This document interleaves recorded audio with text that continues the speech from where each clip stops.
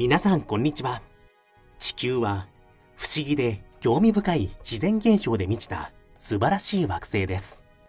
自然現象の一部は科学によって解明されていますが、現在に至っても謎として残っているものも多数存在します。インドは世界7位の面積を持つ国です。その広大な国土の南には海が広がり、北にはヒマラヤ山脈がそびえ立っています。そのため国内の気候は高山性の寒冷気候から高温多湿の熱帯まで実に多様です。インド北部のハリヤナ州の気候は夏は雨が多く気温が50度近くまで上がり冬は寒く氷点下近くまで冷え込みます。実はここで最近原因不明の異常現象が起こりました。ハリヤナ州に住む男性が Facebook にビデオを投稿しました。雨水が溜まって水たまりのようになった場所で突然地面が隆起し始める様子が映っています。そのショットはまるで SF 映画さながらで今にも正体不明の巨大生物が目の前に現れるのではないかという気分になります。ビデオには撮影している人の叫び声が入っています。見てください。こんなのは初めてだ。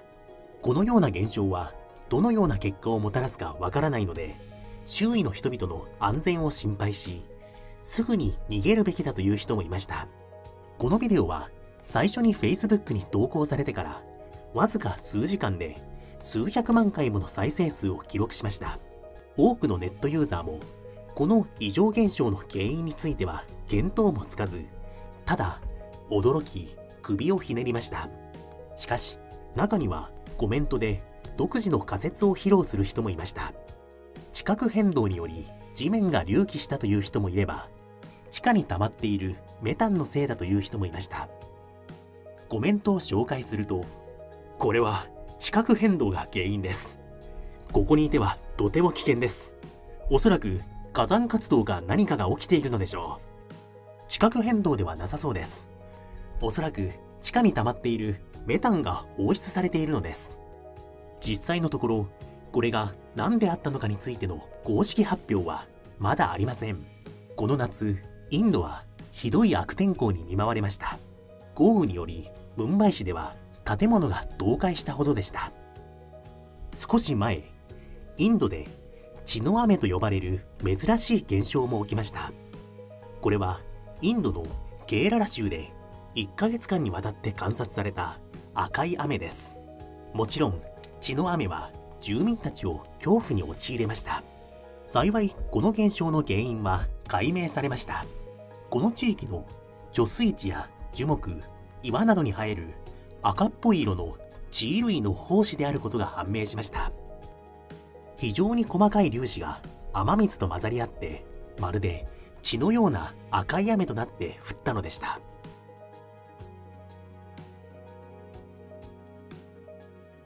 世界にはまだまだ多くの謎があります。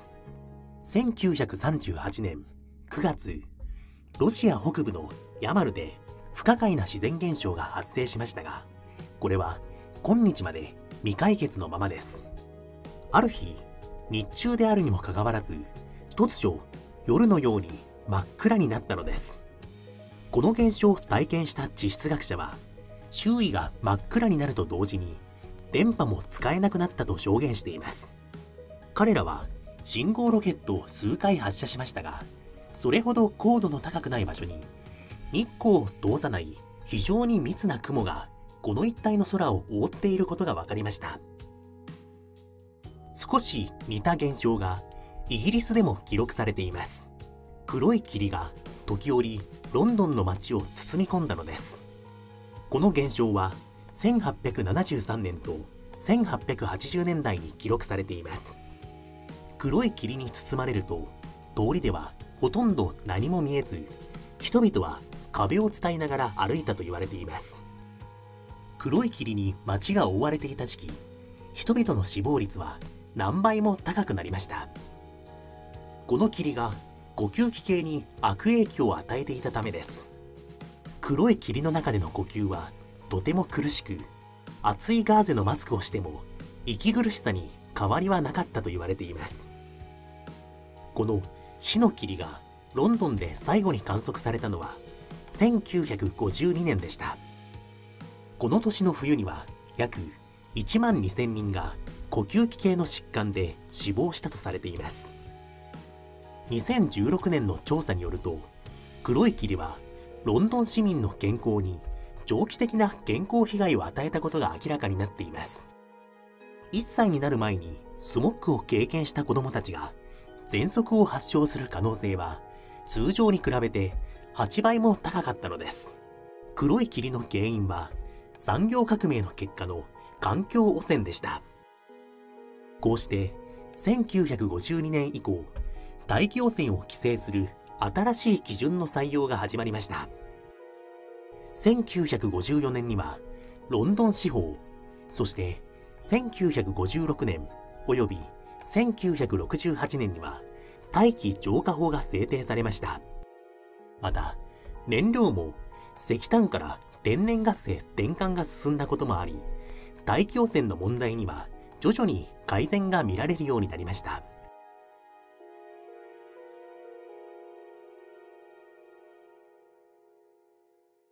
恐ろしい自然現象のランキングを作れば火災旋風がランクインすることは間違いないでしょう。竜巻だけでも被害は甚大で十分に恐ろしいことは皆さんもご存知の通りですがこれが火災によって引き起こされるとその危険性は劇的にアップします。この現象は複数箇所で発生した火災が空気中の酸素を消費し周囲から空気を取り込むことで局地的な上昇気流が生じ炎を伴った旋風になると考えられています。皆さんも一度くらいは落雷を聞いたり稲妻を見たことがあることでしょう。しかしここでは普通の雷ではなく大気中に帯電し発光して浮遊する球体宮殿についてお話しします。ほとんどの場合宮殿は赤または黄色の火の玉のように見えしかも私たちが普段知っているような物理現象に反した動きをします。砂嵐もかなり印象的ですが同時にかなり危険な自然現象です。砂嵐に巻き込まれれば窒息して死んでしまうこともあります。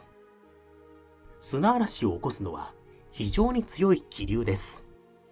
ちなみに砂嵐により年間4000万トンに上る砂がサハラ砂漠からナイル川流域に運ばれています。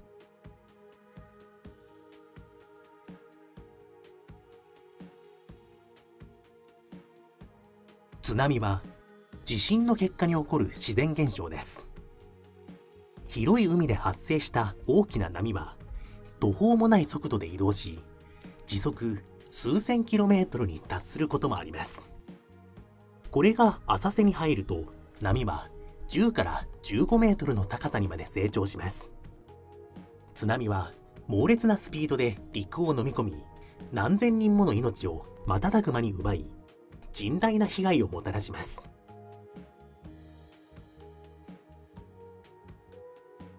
竜巻は渦巻き状の上昇気流でその直径は数十メートルになることもあります。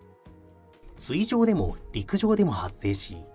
横から見ると円錐形の雲の柱のような形をしています。内部では空気が時速 100km ものスピードで円を描いて渦巻いていて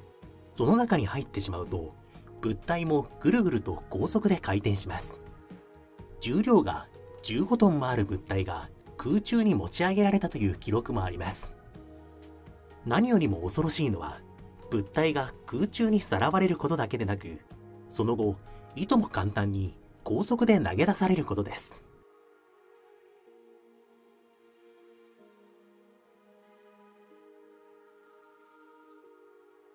しかし地球上のあらゆる自然災害の中で最も恐ろしいのは地震かもしれません。大規模な地震が起きると何百万人もの命が犠牲となってしまいます。過去10年間で全世界で約78万人が地震の犠牲になっています。地球内部で発生する揺れは地殻の振動となり広大な地域での地震を引き起こすことがあります。巨大地震が大都市の直下で起こればとてつもない数の建築物が破壊され瞬時に何万人もの人々が犠牲になってしまいます。ちなみに地震は人為的に引き起こされることもあるのをご存知でしょうか？例えば地下核実験の際などです。1961年10月30日にソ連で核実験が行われた時には爆発の衝撃波によって起きた地震波は地球を3周したと言われています。さて今回はここまでです。この動画が気に入ったらいいねを押してぜひシェアしてください。ではまたお会いしましょう。